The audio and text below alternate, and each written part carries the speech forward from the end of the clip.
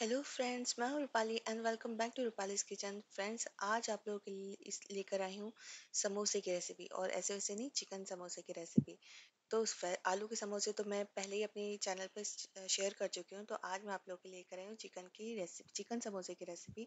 बहुत ही क्रिस्पी बन के तैयार हुए थे ये समोसे और डिलीशियस तो इतने थे कि बस खाते जाओ खाते जाओ। और वीडियो में आगे बढ़ने से पहले चैनल को सब्सक्राइब करना बिल्कुल ना भूलें और बेल आइकन पे ज़रूर हिट कर दें। तो यहाँ पे मैंने सबसे पहले उसकी जो है फिलिंग तैयार करेंगे तो उसके लिए मैंने यहाँ पे लिए है तीन बड़े चम्मच ऑयल और उसमें डाल दिया कटा हुआ प्याज और कटी हुई हरी मिर्च। इन सबको अच्छे से सॉल्टे कर लेंगे, अच्छे से मिक्स कर लेंगे, पका लेंगे थोड़ा सा और अब मैंने इसमें डाला है लहसुन। तीन से चार लहसुन को मैंने बारीक बारीक क्रश कर लिया था, कट कर लिया था, उसको इसमें डाल दिया। और यहाँ पे मैंने लिया है चिकन मीन्स ये बिल्कुल थोड़ा सा पाव भर के करीब ही चिकन मीन्स है, क्योंकि मुझे ज़्यादा समोसे नहीं बनाने थे। तो यहाँ पे मैंने चिकन लिया। अब इसको इसमें अच्छे से फ्राई कर लेंगे चिकन को। थोड़ा सा लग रहा था मेरा नीचे, क्योंकि मेरी ये कढ़ाई जो है वो पतली है। तो इसमें डालेंगे सीजने के लिए नमक। यहाँ पे थोड़ा सा हरा धनिया डाला है मैंने और थोड़ा सा गरम मसाला और जीरा पाउडर डाला है। और इन सबको अच्छे से मिक्स कर लेंगे, सारे मसालों को चिकन में अच्छे से मिक्स कर लेंगे। चिकन बहुत जल्दी पक जाता है चिकन को पकने में ज़्यादा टाइम नहीं लगता है। थोड़ी सी बाद में यहाँ पे डाल दी रेड चिली उसको भी मिक्स कर लिया था और ऊपर से डाल दिया धनिया। और आप देख सकते हैं, बहुत ही जल्दी हमारा चिकन जो है वो बन के तैयार हो गया। चिकन फिलिंग हमारी तैयार हो गई इसे अलग से निकाल लिया है मैंने और उसे ठंडा कर लेंगे आप फिलिंग करने से पहले इसे हमें ठंडा करना ज़रूरी है। तो अब करते हैं यहाँ पे आटे की तैयारी।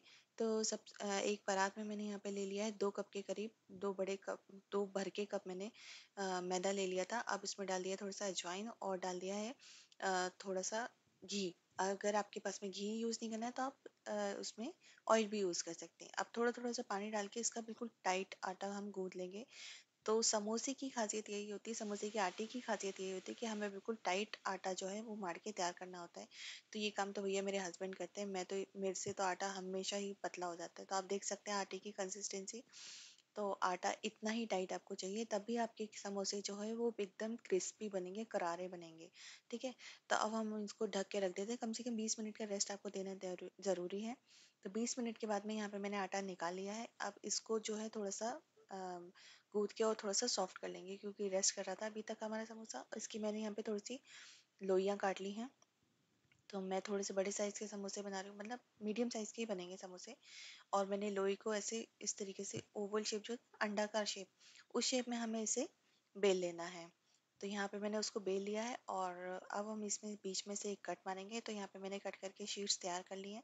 तो अब इन शीट्स के ऊपर हम यहाँ पे चारों तरफ़ से पानी जो है वो लगा लेंगे ताकि हमारे समोसे ना अच्छे से स्टिक हो जाए और खुले ना।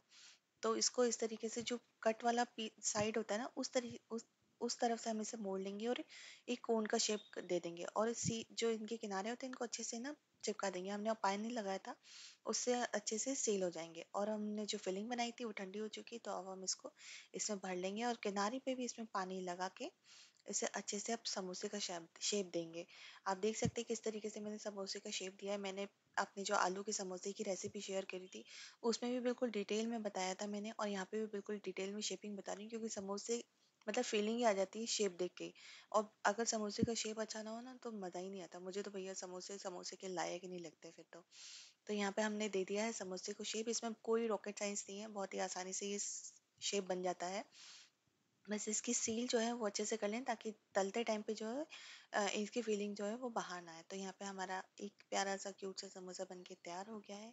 देखिए कितना सुंदर बना है। तो इसी तरीके से अब मैं और भी समोसे बना के तैयार कर लेती हूँ। गाइस ये समोसे इतने टेस्टी बने थे ना कि सच में मज़ा ही आ जाता है। मेरे हस्बैंड तो कहते हैं कि एवरी संडे बनाया करो। तो ये रेसिपी अगर आपको जरा सी भी पसंद आती है ना गाइस तो प्लीज़ मेरी मेरी इस वीडियो को लाइक ज़रूर कर दीजिएगा। और मुझे कमेंट सेक्शन में ज़रूर बताइएगा कि आपको मेरी वीडियो कैसी लग रही है। एंड अब बारी आ जाती है तलने की तो इसके तलने की भी एक ट्रिक है। तेल को हमें बिल्कुल ठंडा रखना है और मतलब बिल्कुल हल्का सा गर्म है यहाँ पे, मेरा तेल आप देख सकते हैं। और फिर ठंडे तेल में ही हमें अपने समोसों को डाल देना है और धीरे धीरे बिल्कुल धीमी आँच पे हमें अपने समोसों को पकाना है। थोड़ा सा टाइम ज़रूर लगेगा, लेकिन ये गारंटी लेती हूँ कि आपके समोसे बिल्कुल क्रिस्पी तैयार होंगे। और यहाँ पे देखिए, हमारे समोसे में अच्छा गोल्डन ब्राउन कलर आ चुका है, मेरे समोसे बिल्कुल तैयार हो चुके हैं, अब मैं इन्हें निकाल लेती हूँ। बाहर तल के निकाल लेते हैं। तो यहाँ पे हमारे गर्मा गर्म समोसे जो है वो बन के तैयार हो गए हैं। आपको कैसे लगी ये वीडियो मुझे ज़रूर बताइएगा। ये देखिए कितना सुंदर लग रहा है समोसा। जितना ये सुंदर है, उतना ही खाने में टेस्टी है। बहुत ही मज़ा आएगा। आपको ये रेसिपी ज़रूर ट्राई कीजिएगा। तो चलिए अब कर लेते हैं इनकी प्लेटिंग। इस वक्त जब मैं प्लेटिंग करी हूँ ना, समोसे इतने गर्म है कि मुझे उठाने में भी वो लग रहा है। बट गर्मा गर्म ही खाने में अच्छे लगते हैं, क्या करें? तो यहाँ पे मेरे पास चटनी पहले से बनी हुई थी और मिर्चियों को मैंने थोड़ा सा तल लिया था। तो ये देखिए, अब मैं आपको बताती हूँ इसको खोल के। ये देखो, मैं उठा रही हूँ ना तो मुझे चटके लग रहे हैं लिटरली सच में। ये देखिए, धुआँ भी निकल रहा है, आप देख सकते हैं कितने बढ़िया बने ना ये समोसे। अंदर से फीलिंग बिल्कुल खचाखच भरी हुई है। बहुत ही टेस्टी बहुत ही डिलीशियस बहुत ही यम्मी ये समोसे बन के तैयार हुए थे। अगर आपको ये रेसिपी पसंद आई तो प्लीज़ कह रही हूँ फिर से एक बार समोसों को ओ सॉरी वीडियो को लाइक ज़रूर कर दीजिएगा। एंड प्लीज़ सब्सक्राइब ज़रूर कीजिएगा मेरे चैनल को और नोटिफिकेशन बेल को ना ज़रूर हिट कर दीजिएगा, ताकि मेरी वीडियो की नोटिफिकेशन आप तक जब भी मैं वीडियो डालूँ तो सबसे पहले आप तक इसकी नोटिफिकेशन पहुँच सके। तो चलिए गाइस वीडियो, अगली वीडियो में आपसे मिलती हूँ, तब तक के लिए बाय बाय एंजॉय कीजिए मेरे समोसों को। ओ सॉरी चिकन के समोसों को। Bye bye